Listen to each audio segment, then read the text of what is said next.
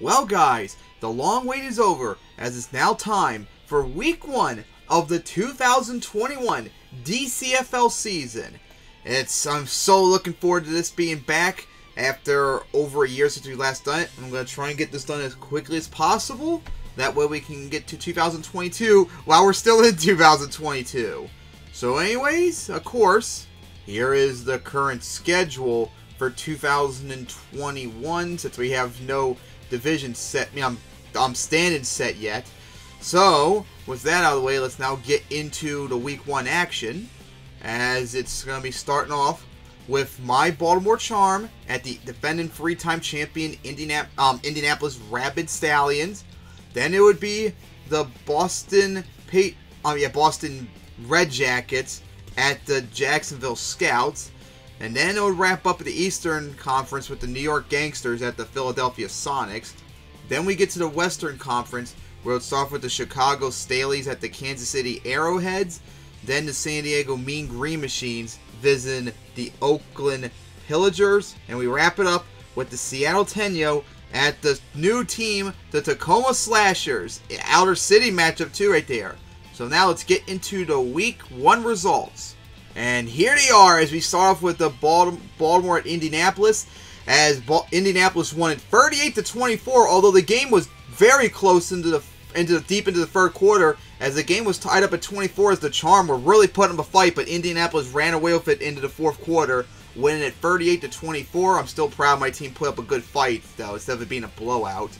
Then the Boston Red Jackets at the Indianapolis Scouts as the Scouts were actually, you know, um, Red Jackets were leading 14-10 going into the third quarter. It looked like they might pull off an upset before Jacksonville blew up with 20 points in the fourth quarter to win it 30 to 20, I mean 30 to 14. And then the New York Gangsters were at the Philadelphia Sonics as the game was a low-scoring affair as the um, New York Gangsters ended up winning 12-10 with the only win being off a of safety as Philadelphia put up a really strong defensive effort as their um they stopped New York really big time, but their offense showed up. I mean, did not show up whatsoever when they needed to because they had multiple times they could have won on the final few drives, but they got stopped. Meanwhile, in the Western Conference, the Chicago Staleys were at the Arrow, Kansas City Arrowheads, and the Arrowheads stunned Chicago as they won it 16 to 3. They were up 16 0 at one point as Chicago's offense just could not get anything going. A dominant performance by the Arrowheads are now 1 0, as the Chicago Staleys already matched their loss total from last year. And then the, Oak, the um, San Diego Mean Green Machines were at the um, Oakland Pillagers. San Oakland went up 14 0 quickly. San Diego rally and came back and actually got 11 points in the fourth quarter to tie it up at 24 to force overtime. San Diego wanted to start the overtime off, but they went three and out. So then Oakland got the ball, they went downfield and got the game-winning field goal to win it 27-24 as they're 1-0 as San Diego's 0-1. Meanwhile, to wrap it up, the San Diego Tenyo were at the Seattle, um, Tacoma Slashers, their first game ever, and Seattle went off on them offensively winning it 33 to 20. The first time Seattle's offense looked so good in a long time, as they put up 33 points. Seattle, um, Tacoma made it a little bit more respectful at the end of the game, scoring 10 um, mercy points to make the score a little bit better. But Seattle dominated Tacoma 33 to 20. So as we take a look at the current Week One stands now, so in the Eastern Conference, Indianapolis leads. And then second place is Jacksonville, and third is New York, as they're the top three teams in the playoffs. After that, it's, it's um, Philadelphia, fourth seed. Then the Boston Red Jackets, the fifth seed, as my Charmer last place in the sixth seed.